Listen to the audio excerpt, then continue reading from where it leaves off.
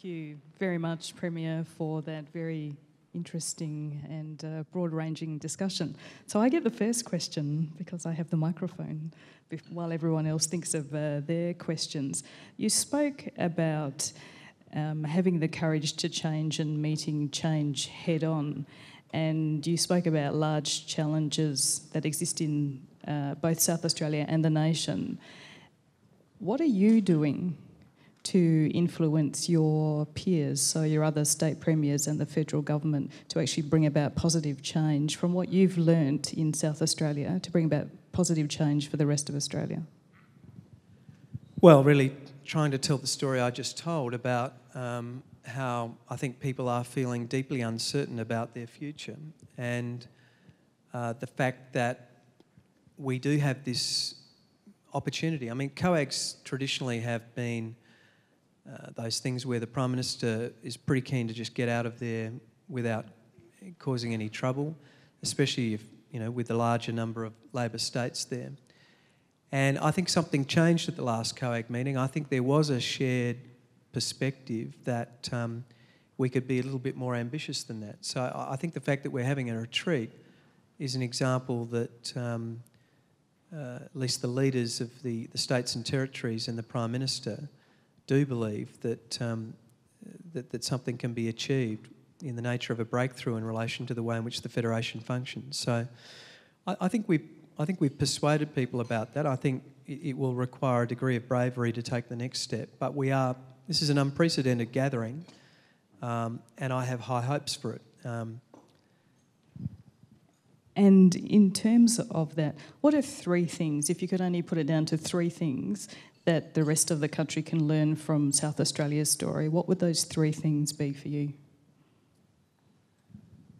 Um, well, um, I suppose to be specific in relation to health, which is you know the single. If you wanted to strip it down and talk about one thing of the eighty billion dollar cut, the lion's share of it is health, and in terms of the growth of public expenditures. It's the thing that's likely to consume all of us unless we're able to grapple with it. Uh, we've just been through what we think has been a very successful, but it was a, a bit of a nerve wracking exercise. We decided to embark on a transforming our healthcare system process. Um, the thing that we learnt is that um, if you don't take clinicians with you in terms of healthcare reform, it's likely to be unsuccessful. So we began with uh, engaging the clinicians in a very substantial exercise of measuring everything about our public hospital system.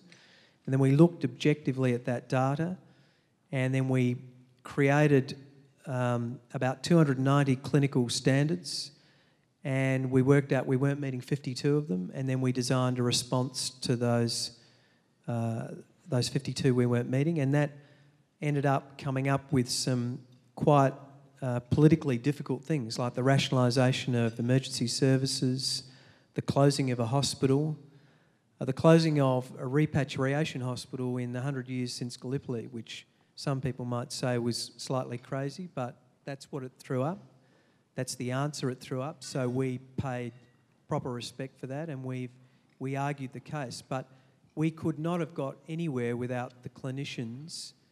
Uh, we had clinical leaders in each of those areas, and they led the process and they're driving the reform. So that's, that's something I think we can share with the nation about what we've learned about the reform process. Thank you. What questions do we have from the floor? There are some microphones around. There's a hand up at the back.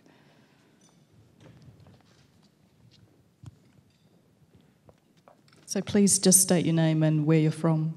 Sure. Um, Michael Knox, Morgans Financial. I, I, I, clearly didn't understand one of the things you were saying there. You talked about uh, raising 3.4 billion by uh, putting GST on financial institutions, but financial institutions, like like all other uh, service sectors, already pay GST. Uh, so please explain how you can raise uh, additional money from businesses that already uh, pay the tax that you're, that you're uh, were suggesting be levied. I think it's generally accepted that financial services are not taxed in the same way. I think they, it's treated as um, uh, it flows through in a sense. So the particular financial service that's provided by a bank uh, to a um, to a uh, anybody that they're associated with, the uh, the, the, lender, uh, in the incremental of profit or the increment of service, however that's calculated, does not have a GST charge to it. That's the basis on which a financial services element of the GST uh, would be considered. Now, um, it, it's, it is applied in some countries, although not commonly in countries that have goods and services tax, but it is a sector of the economy which is a service which does not attract the GST, and it could, and it wouldn't be regressive. Thank you. Premier Megan Motto from Consult Australia, and I'd like to first of all start by congratulating you on the vision and leadership that you've shown this week. Uh, from Consult Australia's perspective, we've had a particular success in uh, engaging with the South Australian Government through the Office of the Industry Advocate. And I was wondering whether you'd comment to the audience tonight why you set that position up in the first place and what success you've seen through that position. Yeah, the Industry Participation Advocate is uh, a body set up to assist small uh, local companies to get their fair share of uh, state government procurement. Um, it doesn't do this in a way which uh, discriminates against interstate or overseas companies, but um, sometimes the way in which government procures can accidentally um, make it harder for local companies uh, which is obviously the last thing any um, state government would want to do. So the way in which uh, projects are bundled up, the way in which companies can perhaps partner with other larger companies so that they can be part of a consortium uh, are all ways in which you can maximise the amount of local component uh, for um, particular uh, projects. So that's essentially the, uh, the, the model. Thank you. Other questions? While we're waiting for another question, I get to ask you another one, uh, Premier. So, what advice do you have for young people who want to join politics? What advice would you give them? Because we've had a lot today, and most of the feedback that I've had is from everyone saying, Why would I leave business and join politics? Why would I do that? And last week, or a few weeks ago, we had Gillian Triggs, Professor Gillian Triggs over in South Australia, and she spoke about um, the importance of understanding the role of politics early on in your career because when you get to later on, if you don't understand it and if you don't work with it, you actually can't get things done. So, what advice do you have for us?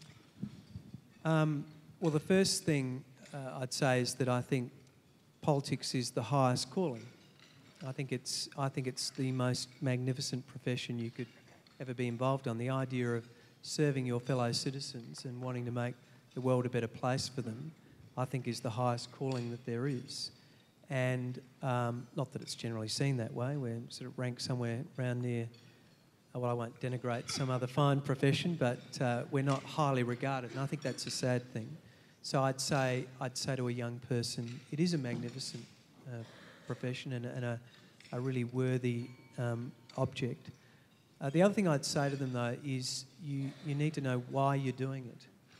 Not what you're going to do or how you're going to do it, but why you're doing it. And I don't think enough politicians ask themselves that question. And, um, you know, most spectacularly was played out with Mal Meninga. You remember? That's that famous Mal Meninga interview where somebody asked, everybody makes fun of Mal about that, but they asked him the question, they said, Mal, why are you doing this? And he didn't know. And, uh, uh, and then it was spectacularly, I think his candidature lasted sort of 60 seconds. It's the fastest or the shortest candidature in the history of politics. But it, and it was a bit funny for that reason. But it's actually a bit serious because a lot of people don't ask themselves that question. And you don't have to just ask yourself that question at the beginning.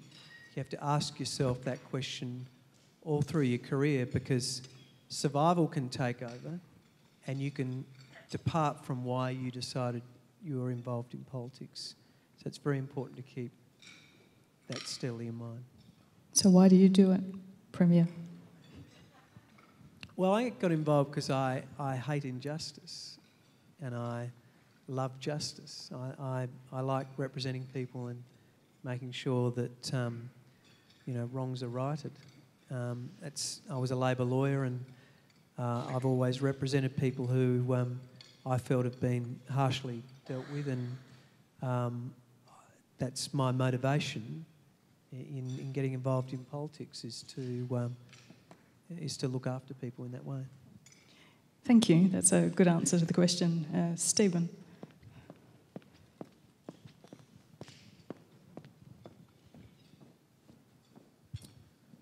Premier, in your, uh, in your comments, you uh, raised the issue of leadership or lack thereof uh, in your impression of uh, the current political scene in Australia.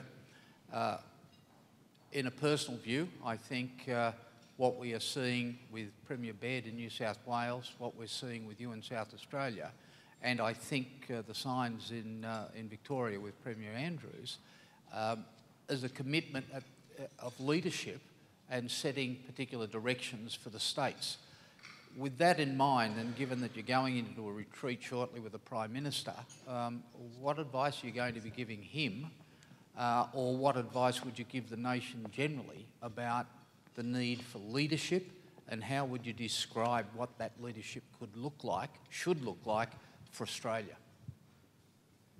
Well, I think it gets back to pretty basic things. People uh, want want to be safe and secure, of course, that's a minimum basic responsibility, but they also want to know what the future looks like for themselves and their families in terms of a job.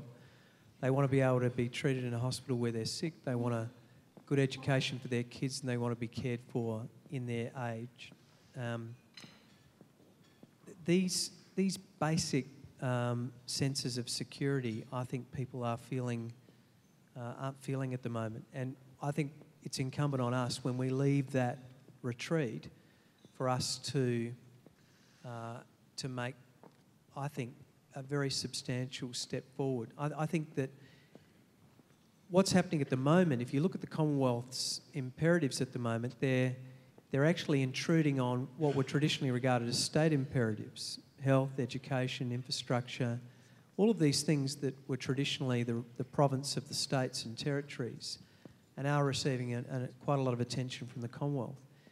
Now, um, I think there's a respectable argument that goes that the Commonwealth, the big Commonwealth reforms, um, are largely uh, have been dealt with. You know, whether it's reform to the financial markets, reform to the product markets, the freeing up of trade, uh, even reforms to the industrial relations system. I mean, there's fundamentally, uh, I mean, plus or minus some tinkering around the edges. Those big reform agendas are spent. They're largely within the province of the states and territories. So what we need is a Commonwealth that, rather than telling us that we should be teaching phonics and you know raising up raising a sort of school flag, uh, you know the Australian flag up up a school pole and having chaplains, which is sort of an intrusion into the state imperatives around education.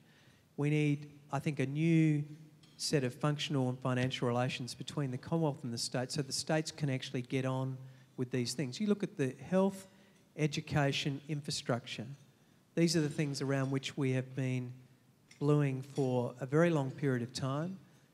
In almost every, every state in the nation has these boundary disputes on these issues.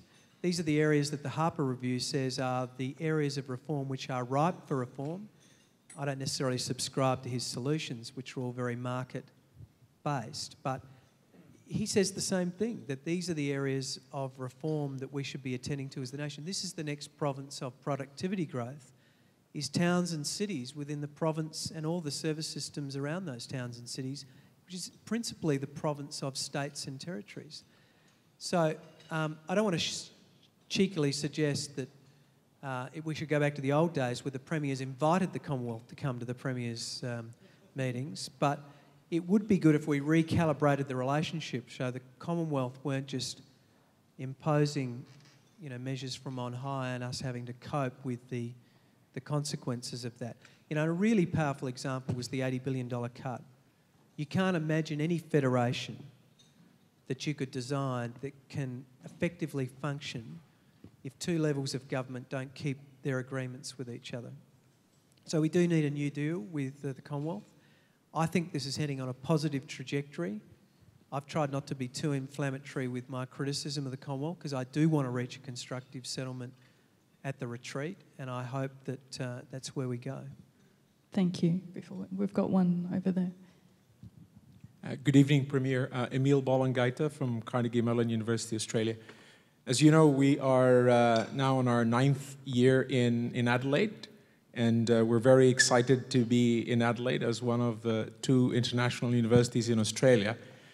Excited because uh, you've outlined a, a, very dynamic vision of, uh, of what South Australia would like to be going forward under your leadership a vision that includes uh, uh, emphasis on information technology and energy innovation, uh, two areas where the university is uh, very strong at.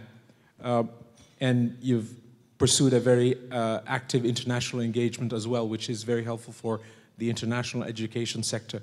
My question really is about where you see are the major risks to, to the approaches to the attainment of this vision? And, and how do you see uh, South Australia uh, you, under your government, uh, under your leadership, addressing those risks? Thank you. Well, I think in relation to climate change, which is the particular um, topic we, we addressed, and, and in particular the carbon neutral city, I think many of the levers are actually reside with the, uh, with the states and territories. If you look at you know, the drivers for uh, for uh, carbon emissions. They're usually utilities, um, energy systems, um, transport systems, uh, waste systems, the way cities operate transport systems. Um, you know, we, we have many of the levers there, and this is one thing that's being, I think, recognised in the talks in the lead up to Paris this year is that subnational governments are going to be uh, playing a much more central role in the climate change discussions uh, that exist. So you know, I, I mean, we've got now the renewable energy target's been settled, so that risk has been taken, that particular risk has been taken off the table. Um, you know, there's, there's no reason why states and territories can't go this alone. I mean, carbon emissions don't know, you know, state or, or uh, country boundaries. There's no reason why we couldn't involve ourselves in some of the international arrangements uh, which are necessary to take the next step. Thank you. Premier, it's Ross Womersley from SACOSS here. Um, my question, I'm not quite sure how to frame it, but essentially, one of the things that I hear people saying is that they're sick of the federal and state governments fighting with each other and bickering over, over issues to do with who's responsible for what and um, where the funding's coming from and all of those kinds of things. And I guess you've led a charge, and a fairly fierce charge, back at the federal government about what's going on in South Australia and the, the situation. How is the summit the only mechanism that we have to actually get those relationships back into some sort of a situation where we actually get a functional federation and a, and a joined up attempt to support states right across all of the states and territories? Look, I, I, mean, I think um, there are some senses in which we're just joined at the hip. I don't think you can. The healthcare system's a classic example. I mean, if we've got public hospitals and the Commonwealth has the GP system, Commonwealth has the aged care system uh, and elements of the disability services system, then the, we have public hospitals and they have the entry points through GPs and the exit points through aged care. It's hard to imagine, unless you're going to hand over public hospitals to the Commonwealth, uh, how you could design a system that doesn't involve collaboration. So I don't think, so I don't think the solution is going to necessarily, in all cases, is going to come through some sharper lines. The Prime Minister's fond of saying, let's be sovereign in our own sphere that's a particular philosophical view about federation, which is, um, which is, you know, it does exist in some parts of the world, although it's not the commonly used type of federation. More common types of federation are cooperative federalism, and, and I think that's probably closest to the type of system that we have. So I think there's a sense in which we're always going to have to uh, collaborate, and we can't get out of each other's way in any relevant sense. I think that the, the reason why there is squabbling and that's because there hasn't been any um, persuasive shared vision for the future. I mean, if there's a really powerful vision which is articulated, um, it becomes impossible for people to do anything other than cooperate in it. If it's that persuasive and, and people are buying into it, then opposition just disappears. I think the real, I, I don't think there's anything intrinsically about people misbehaving or being more or less cooperative. I think it's about the quality of the vision. And if it can be a shared vision for the future, then obviously you're going to have uh, that there'll be there'll be more support for it. Um, look, I, I, do hope though that this this uh, retreat is a circuit breaker. Hopefully, we can reach some shared vision for the future of the country, and uh, but, but, we'll see. I'm, I'm, I'm, an optimist by nature, so uh, um, we'll see what happens. Thank you. So, last question from Ian Sterling.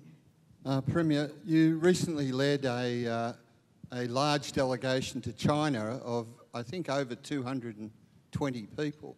Can you give us a bit of a, uh, an insight into, because that's a massive delegation, I think it, the largest ever from South Australia, uh, a, uh, bit of an insight into the opportunities that uh, you came across? It is. It was the largest delegation we took to uh, anywhere, but we took it to China and in particular to Shandong province. Shandong is a sister state for South Australia. Uh, it also happens to be the third largest economy in in China, and um, there's 100, about 100 million people. So we're very fortunate that 30 years ago, uh, next year, uh, we established that sister state relationship. Um, we, we find China you know, too big to consume for a small state, so we've deliberately tried to focus our effort on one state. And we've built on a very strong cultural, uh, shared cultural exchange, arts, uh, students, species of aid where we've supported them, sporting and other uh, communication. Uh, last year we showcased um, Shandong in our OzAsia Festival, which is the largest cultural Asian festival in the nation.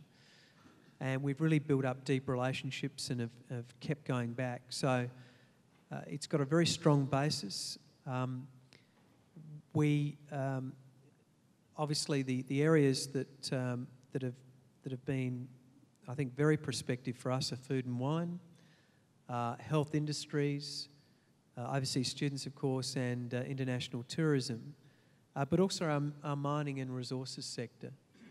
Um, we've, we had um, very substantial connections that were developed between a number of businesses in South Australia and their counterparts in Shandong. And as you'd appreciate, um, government is a very big deal in, in Shandong, so the introduction of a state government to the counterpart provincial government there and bringing a group of businesses was a, a, platform which allowed them to get access to leaders in their counterpart businesses that they couldn't get if they travelled there by themselves. So many of the businesses came away with very high level agreements and uh, um, it was, there were some very spectacular results out of what was a, a week long trade mission uh, to Shandong province. Thank you. That brings a close to the question. So I'd like to invite Mr. Mark Irwin, CEO of Serco Asia Pacific, to propose the vote of thanks.